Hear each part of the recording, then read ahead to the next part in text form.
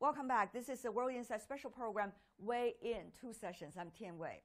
China is embarking on a new journey for the year 2021 as it looks to build what it calls a modern socialist country by the year 2049. It also marks the launch of the 14th five year plan. A lot of terminology is used in China, but in fact, it is really about China's social economic blueprint for the next half decade. Over the past several months, terms like domestic consumption and crucial dual circulation are the economic buzzwords. But how to achieve that? On the sidelines of China's annual political season, I picked the brains from Bai Chong-En, a CPPCC member and Dean of the School of Economics and Management with Tsinghua University. Let me ask you, Professor right. Bai. China has been talking about to encourage consumption and the consumption market the question is how? Um, I think uh, one of the most important drivers of consumption is uh, uh, household disposable income. And uh, um, in the uh, last 10 years, uh, we have had some improvement in household in disposable income, actually quite a bit of improvement there. However, the share of household disposable income in GDP has uh, stopped growing for a few years. So we need to restart the growth process there. So in the government report, uh, the government proposes that, uh, uh especially for big cities, uh, we need to uh, increase the supply of subsidized housing. Either rental or housing, subsidized housing for sales, uh, if we can do that, if we can achieve that, then uh, that would effectively reduce the burden of housing on households, especially on young households. That will free up purchasing power for other products and services. The other uh, factor is that uh, people need uh, to feel secure to spend if they are uh, very concerned about uh, future medical expenses or their uh, retirement uh, uh, expenses then they, uh, they, they, they don't feel comfortable spending. They need to save for these future expenditure. So the improvement of social safety net of social insurances is still very important. Professor Bai, if I could be blunt here. All the things you talk about has been uh, being uh, put into some of the priority list of work uh, in the government over the past years. Uh, and yet, uh, it have not been resolved. Housing is one of those examples. Uh, do you see there is going to be some quick solutions for that? Right, that's a, a very good question. the ideas have been there. The key is the implementation. And uh, uh, for uh, housing, one important factor is that whether local governments have the incentives to provide affordable housing to, to local residents. For example, if the local government builds um, uh, subsidized uh, rental housing, then these housing can generate uh, rental income in the future. So uh, it's uh, possible to, uh, to use asset-backed security to raise funds mm. to financing the to finance the construction of the housing. So mm-hmm. this is um, something that has not been done, but the development of the capital market has made it easier to do this. I understand about the priority, Professor Bai, but uh, there are other yes. priorities. For example, uh, the reason why uh, Mr. Guo Shuqing has been warning from the PBOC about the bubbles in the housing market a few days ago is because right. the world was in a sluggish economic mode and China has to boost its economy despite all the difficulties. So stimulus package being put in there and there is a tendency once their stimulus package will go to you know the real estate sector eventually. Uh, that has been the way for some time. Uh, now, there are top priorities like that from time to time. So how, how confident are you that this affordable housing thing will be put as the priority while China is also struggling with many other priorities? Um, I, I, think uh, in the past, uh, the local governments uh, uh, felt the pressure to achieve certain growth targets. I, I think uh, what has been changing is that uh, we are now emphasizing um, high quality growth more. for example, in the yes. 14th five year plan, um, we probably won't set a, a five year growth target. And uh, uh, earlier there were talks about uh, a growth target to, from now to 2035. Um, again, there probably we won't set a specific growth target. And this signals a, a change in uh, priority. Uh, that is, uh, we are not going to single-mindedly work uh, trying to achieve a certain growth target. Rather, uh, we try to uh, mm. improve the quality of economic development. Mm. So you think, Professor Bai, if I get it right, priority, the issue of priority is extremely important in China's uh, uh, decision-making process, and also in right. guaranteeing whether one thing will be done well at all. And you think this time right it will be the priority. Is that right? Um, uh, it will be one of the priorities. The development of the domestic uh, market is um, uh, one of the top priorities. And uh, for, for domestic demand, there are two components, uh, consumption and investment. And uh, um, we, we will keep investing. And um, now the emphasis is on um, having uh, more innovative, uh, more investment that stimulates uh, stimulates innovation.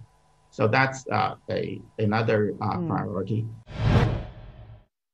During the government work report, one would notice that the Chinese premier talking once and again about nurturing the middle class. Now, uh, that has not been uh, very much the way that the government puts it earlier, but this time it did uh, it's a very interesting phenomenon, at least to journalists like me. What's your take?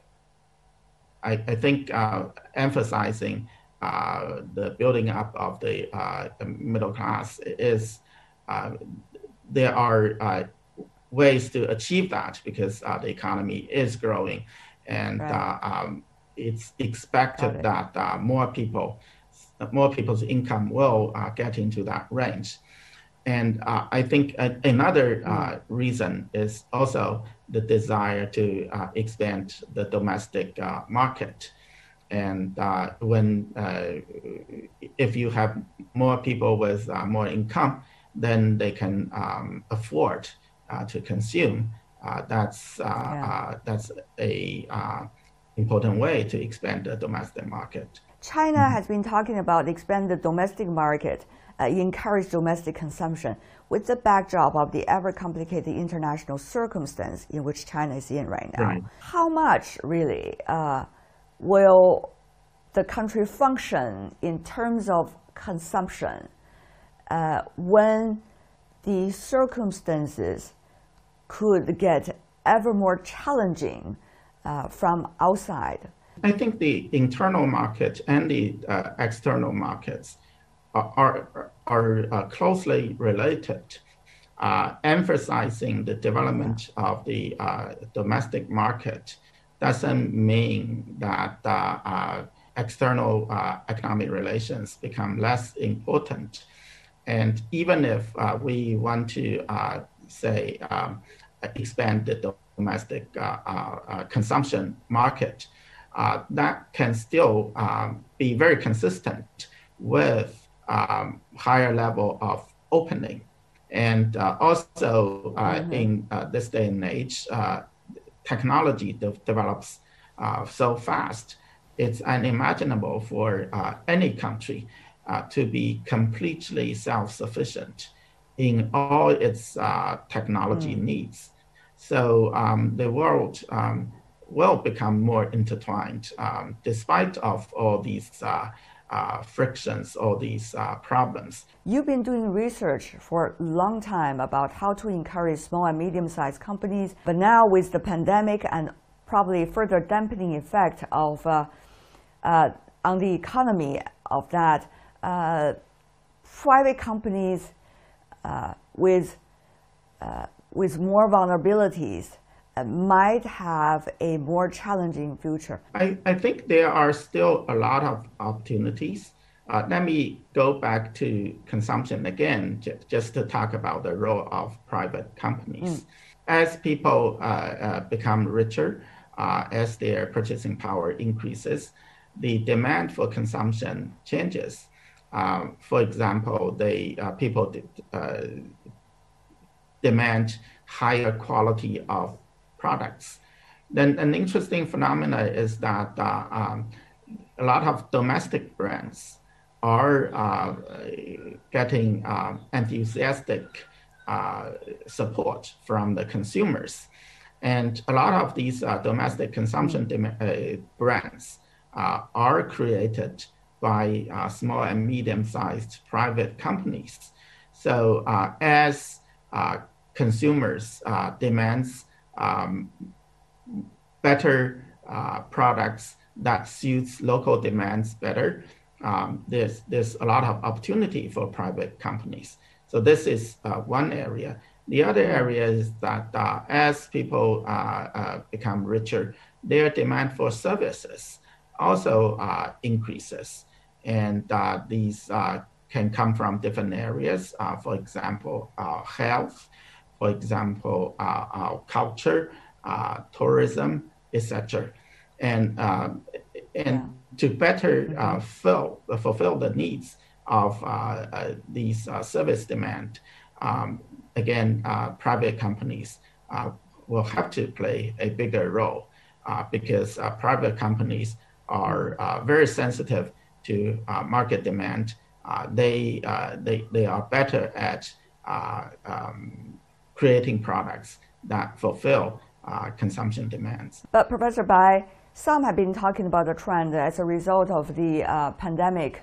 Companies, uh, you know, on the verge of bankrupt is not rare. So there might be a, a trend that private companies will be uh, bought by uh, more government-owned companies, or government might come mm. into the private companies around the world uh, and and and provide a certain support by being a shareholder.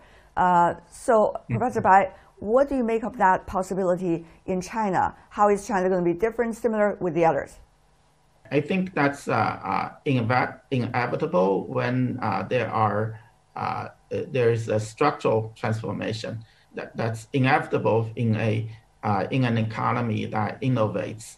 Um, so um, this is uh, one, uh, one point I would like to make. The other uh, is that, uh, yes, yeah. um, the, uh, our financial system does not do a uh, very good job at providing capital to private companies.